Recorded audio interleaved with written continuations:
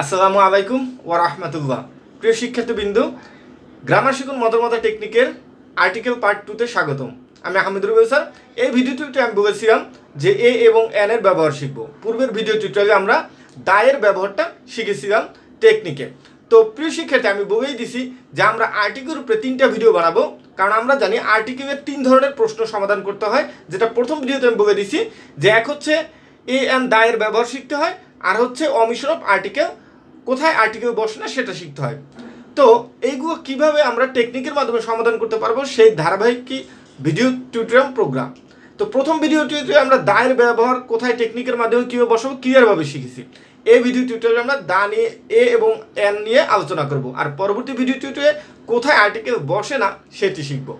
তো শুরু করা যাক আজকের ভিডিও টিউটোরিয়াল তো প্রিয় শিক্ষার্থী, তোমরা বোর্ডে দেখতেছ যে আমাদের আজকের লেসনটা হচ্ছে এ এর ব্যবহার। এ এর ব্যবহার, যদি আমরা আলোচনা করতে যাই, প্রথমত আমরা এর ব্যবহারটা দেখব। যতটুকু পারা যায় টেকনিক ইনশাআল্লাহ, অর্থাৎ কীভাবে সহজে তোমাদের সমাধান করতে সেটা চেষ্টা করব ভিডিও টিউটোরিয়ালে আচ্ছা টেকনিক ওয়ানে আমরা এখানে একটু ওয়ার্ড দেখতে আছি ভেরি ভেরি দেখতেছি সামনে এখানে গ্যাপ দেওয়া আছে। তাহলে কি বুঝতে পারবা? যদি কোনো সেন্টেন্সের গ্যাপের পরে ভেরি থাকে, এর আগে এ বসাবা। কি বসাবা?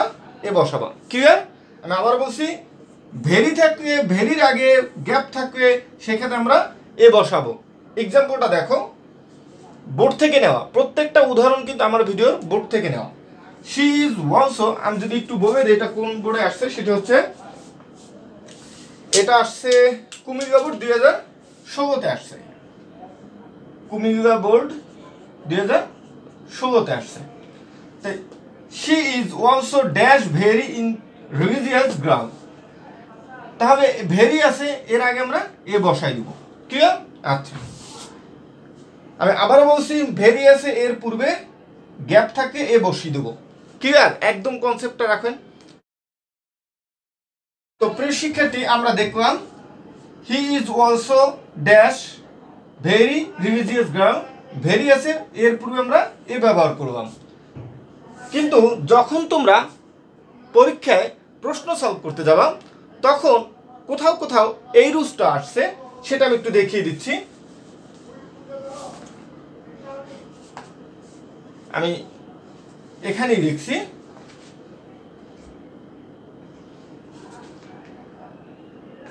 From dash very beginning?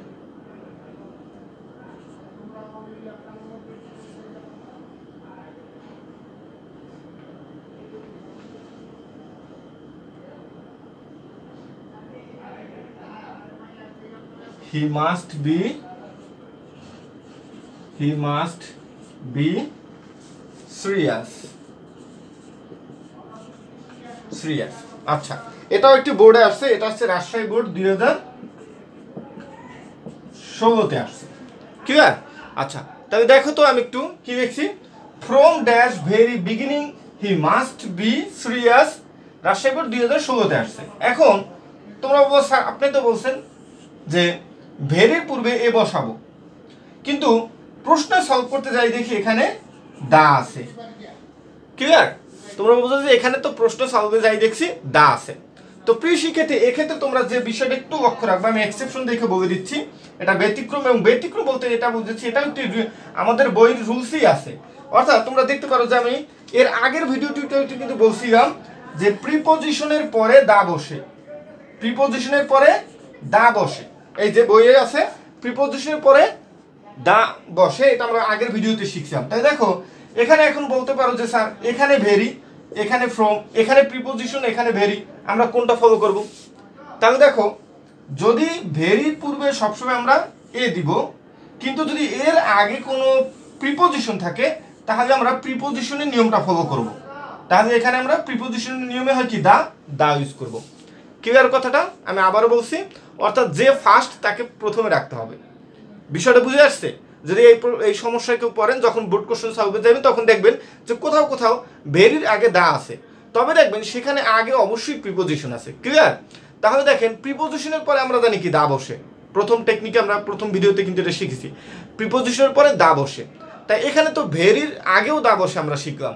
তাহলে এখানে কেন দা হচ্ছে? তাহলে ক্লিয়ার হইও যে, যেহেতু প্রথম প্রিপোজিশন আছে, তাহলে আমরা প্রিপোজিশনের নিয়মটা ফলো করব। ক্লিয়ার আশা করি বুঝতে পারছেন। এখন আমরা এ এবং এন এর দুইটা ব্যবহার শিখব, তাহলে এ এন আমাদের ক্লিয়ার হয়ে যাবে। তো প্রিয় শিক্ষার্থী, আমরা এ এবং এন এর এখন দুইটা রুলস শিখব এর একটা, এন এর একটা। জাস্ট আমাদের এ এন এর ব্যবহার ক্লিয়ার হয়ে যাবে। আর আগে যেটা শিখছি ইটস এন আপ আমাদের এর মধ্যে থেকে বোর্ডের যত পরীক্ষা আসছে, এগুলো থেকে আসছে। আর এ এবং এর এই ব্যবহার দুটো কিন্তু আপনারা অনেকেই জানেন। জাস্ট এখানে কিছু ক্রিটিক্যাল টাইপ মানে টপিকস আছে, সেগুলো আমি আলোচনা করব। সেগুলো একটু খুব ভালো করে দেখবে যেমন আমরা জানি যে এ এর ব্যবহার কি? কনসোনেন্টের পরে কনসোনেন্ট কনসোনেন্টের পূর্বে এ বসে। ভাওয়ের পূর্বে এন বসে। ক্লিয়ার এটা কিন্তু আমরা সবাই জানি। এটা দিয়ে বেশি আসছে পরীক্ষায়। তারপর কিছু এক্সেপশন আসবে, দেখবেন যেটা আপনাদের কনফিউশন তৈরি করে, সেটা হচ্ছে, আমি এখানে লিখে দিচ্ছি আমার বইতে, যেমন এটা তো জানলাম যে কনসোনেন্টের পূর্বে ড্যাশের গ্যাপের পরে কনসোনেন্ট যুক্ত ওয়ার্ড থাকবে, যেমন বয় একটা বয়টা কি? কনসোনেন্ট কনসোনেন্ট কি? এটা তো আমরা জানি নাকি? অ্যালফাবেট কত? এ থেকে জেড পর্যন্ত। যদি কেউ নতুন হয়ে থাকে, একদম তাদেরকে বলে দিচ্ছি। এ থেকে জেড মধ্যে ছাব্বিশটি ওয়ার্ড আছে। সরি, ছাব্বিশটি ভেটার আছে। এর মধ্যে পাঁচটি হচ্ছে ভাওয়েল ভাওয়েল কয়টি? পাঁচটি। A E I O U A E I O U এই ওয়ার্ড দ্বারা, এই ভেটারগুলো দ্বারা যদি কোনো ওয়ার্ড শুরু হয়, তাহলে সেটা ভাওয়েল মানে এগুলো ভাওয়েল আর এছাড়া বাকি যেগুলো আছে বি সি ডি এ ঠিক আছে? আচ্ছা তাহলে এইগুলো হচ্ছে কি? কনসোনেন্ট তাহলে যদি গ্যাপের পরের ওয়ার্ডটার শুরুতে তোমার কনসোনেন্ট লেটার থাকে, তাহলে আমরা এ বসাবো। তাহলে এ বয়। ক্লিয়ার এ বয়। এখন অনেক এটা দেখবেন, অনেক বইতে অনেক এই ছোট জিনিসটাকে অনেক পেছিয়ে তারা লিখছে, সংক্ষিপ্ত ওয়ার্ডের ক্ষেত্রে মানে কত কিছু দিয়ে যে লিখছে। জাস্ট আমরা এখানে যে কনসেপ্টটা নিব, সেটা হচ্ছে, শুধু এরকম যদি পড়েন যে ভাওয়েল লেটারের পূর্বে এন বসে কনসোনেন্ট লেটারের পূর্বে এ বসে, তাহলে হবে না। কথাটা হচ্ছে, মূল থিমটা হচ্ছে কনসোনেন্ট সাউন্ডের পূর্বে এ বসে ভাওয়েল সাউন্ডের পূর্বে এন বসে। ক্লিয়ার আমার কথাটা? ভাওয়েল সাউন্ডের পূর্বে সাউন্ডের পূর্বে হ্যাঁ? উচ্চারণের পূর্বে এন বসে কনসোনেন্ট সাউন্ডের পূর্বে, উচ্চারণের পূর্বে এ বসে। এখন কীভাবে এটা হবে? ক্লিয়ার হবেন এই উদাহরণের মাধ্যমে। বইয়ে কিন্তু লেখা যে কনসোনেন্ট লেটারের পূর্বে এ বসে ভাওয়েল লেটারের পূর্বে এন বসে। কিন্তু সেটা হবে না, হবে যে সাউন্ডের পূর্বে। বা উচ্চারণ যখন আমরা করব, দেখেন উদাহরণ দিচ্ছি ক্লিয়ার হয়ে যাবেন আচ্ছা এইচটা কি? এটাকে আমরা বলি আওয়ার দেখেন, এইচটা তো একটা কনসোনেন্ট তাই না? এটা দিয়ে দেখবেন আপনার বড় বড় যে রাইটাররা আছে, এই বিষয়টি নিয়ে কত পেঁচাইছে। যেমন এইসির উচ্চারণ ভাওয়েল হইবে এত কথার দরকার কি? জাস্ট ভাওয়েল সাউন্ড উচ্চারণটা ভাওয়েলের মতো হইবে এন বসাবো। উচ্চারণটা কনসোনেন্টের মতো হইবে এ বসাবো। এখন এইচ থাকুক আর যে আপনার যা থাকুক, ই থাকুক, ইউ যা থাকুক, সবগুলো ক্ষেত্রে আমরা উচ্চারণকে প্রাধান্য দিব সাউন্ডকে মানে ভাওয়েল সাউন্ড এবং কনসোনেন্ট সাউন্ডকে প্রাধান্য দেব। যেমন তাহলে ড্যাশ আওয়ার সহজ নিয়ম দিচ্ছি, পরে একটু কঠিনটা দিব। তাইলে আওয়ার যেহেতু এটার উচ্চারণ করি আমরা, তাহলে এ উচ্চারণ হয়েছে এ মানে কি? ভাওয়েল তাহলে এটা হবে এন আওয়ার ক্লিয়ার জাস্ট এভাবে এখন একটি আপনার উদাহরণ দিচ্ছি, সেটা হচ্ছে আচ্ছা।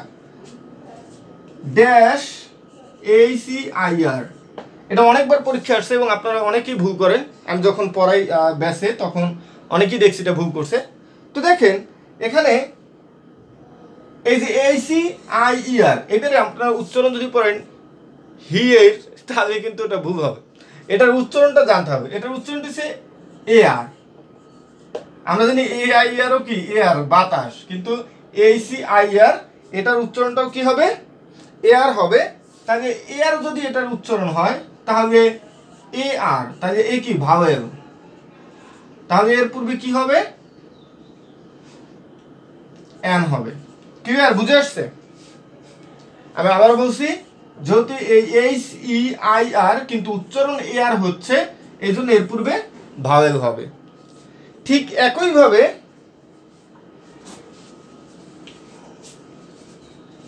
আরেকটি উদাহরণ দেখুন। এই এতটুকু কনসেপ্ট আর কিছু দরকার নেই। এই যে সংক্ষিপ্ত ওয়ার্ড সে এসব কিচ্ছু দরকার নেই জাস্ট আপনার সাউন্ডও মনে রাখবেন।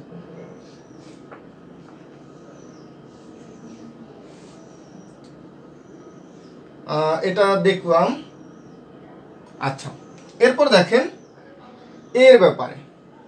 আচ্ছা এটা তো আমরা প্রায় শুনি, যে এই ওয়ার্ডটা প্রায় পরীক্ষাতে দেখি, যে আস পরীক্ষায় আসছে। এল এল বি মনে করেন। ঠিক আছে? আমি একটু যদি sentence he is dash A L B ঠিক আছে? এখন আপনি তো পড়ছেন যে এ, যদি কোনো এরকম উচ্চারণ আপনার ই হয় যদি কনসোনেন্ট থাকে তাহলে এ হয়। আর ভাওয়ালে থাকলে এন হয়। তাহলে দেখেন এখানে উচ্চারণটা কি? আমার এই সংক্ষিপ্ত হোক, বড় হোক ওদের দরকার নেই। জাস্ট উচ্চারণটা কি দেয় এল পড়তাছে এটার উচ্চারণটা পড়েছে এল তাই এল প্রথম উচ্চারণে এ আছে। সুতরাং কি হবে? এন হবে। যদিও কনসোনেন্ট কিন্তু হয়ে যাবে কি? উচ্চারণে যেহেতু ভাগ আসছে, সুতরাং আমাদের এন হবে। ঠিক আরেকটি কনফিউশন আমি দিচ্ছি, যেগুলো আপনাদের ভুল হয়, সেগুলো দেখাচ্ছি।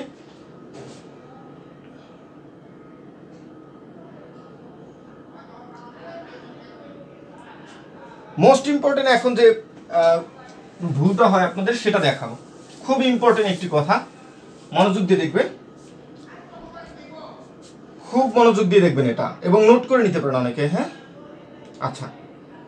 শব্দের শুরুতে ভাওয়েল থাকা সত্ত্বেও কেন এন না হয়ে এ হয়? আচ্ছা ঠিক আছে। এটা হচ্ছে, আমরা দেখবেন অনেক বই তো অনেকভাবে লিখছি, কিন্তু আপনি জাস্ট এই জিনিসটা একটু মনে রাখবেন। ইউ ই ইউ একটু লিখে নিতে পারেন। যারা ক্লাসটা দেখছেন, যাদের কাছে বইটা নেই, তারা লিখে নিতে পারেন। ইউ এবং ই ডাব্লিউ আচ্ছা। দিয়ে শুরু হওয়া ওয়ার্ড এর ওয়ার্ড এর উচ্চারণ consonant sound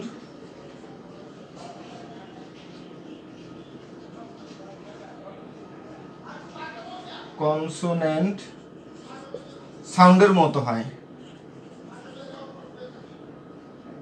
consonant sound Y O U মানে এই ইউ এর মতো হয়। ইউ এর মতো হয়। তাই ই- ইহা ইহা পূর্বে আর্টিকেল এ বসে। মোস্ট ইম্পর্টেন্ট একটি কিন্তু রুলস হ্যাঁ? যারা লিখতে পারছেন না, অবশ্যই আমি দেখিয়ে দিচ্ছি যে আপনারা মিস করছেন এখান দিয়ে। আবার বলছি U U E U E W দিয়ে শুরু হওয়া ওয়ার্ডের উচ্চারণ কনসোনেন্ট সাউন্ড ওয়াই ইউ এর মতো হয়। আবার ভাওয়ের ইউ না ওয়াই ইউ ইউ এর মতো উচ্চারণটা হবে। এই জন্য যেহেতু ওয়াই এর মতো উচ্চারণ হবে তাই শুরুতে ওয়াই আছে, তাই এর জন্য এটার উচ্চারণে আমরা আর্টিকেল এ বসাবো। যেমন একটু উদাহরণ দিয়ে ক্লিয়ার হবে আপনার কাছে।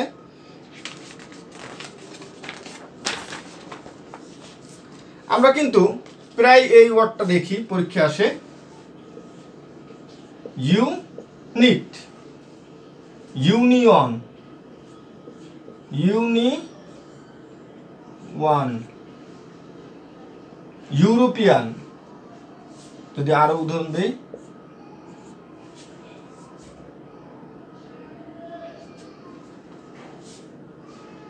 ইউরোপিয়ান। আচ্ছা আর দিলাম না, এখান থেকে আমরা বুঝে যাব।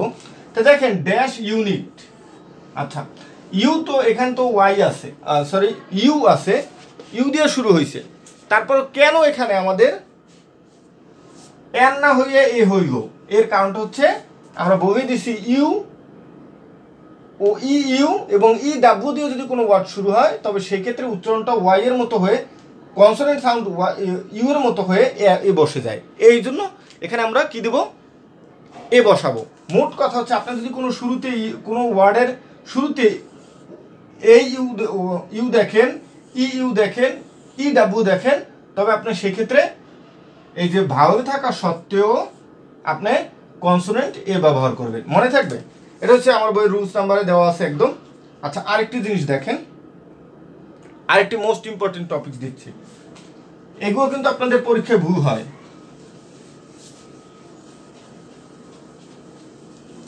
ও, একটা উদাহরণ দিচ্ছিলাম যে ইউরোপিয়ান হ্যাঁ? ওটা বলা হয় নাই। ইউরো পি আচ্ছা ড্যাশ ইউরোপিয়ান দিছিলাম তাই দেখেন, এখানেও তো ভালো দ্বারা শুরু হয়েছে। কিন্তু হই হইবে কি? ইউ এর আমরা বলছি ইউ দিয়ে উচ্চারণ হইলে ওটার পূর্বে কি হয়? এ হয়। তাই ওটার অ্যান্সার কি হবে? এ হবে। আচ্ছা এরপর যে মোস্ট আরেকটি রুলস দিচ্ছি এটা খুব মনোযোগ দিয়ে দেখবেন। এটা হচ্ছে শেষ এনের নিয়মের মধ্যে, এর বাইরে কিছু আসে না সেটা হচ্ছে ও এর উচ্চারণ এর ও এর উচ্চারণ consonant sound conso consonant sound W এর মতো উচ্চারণ হয়। ডাব্লিউ এর মতো উচ্চারণ হয়। উচ্চারণ হয়। তাই আর্টিকেল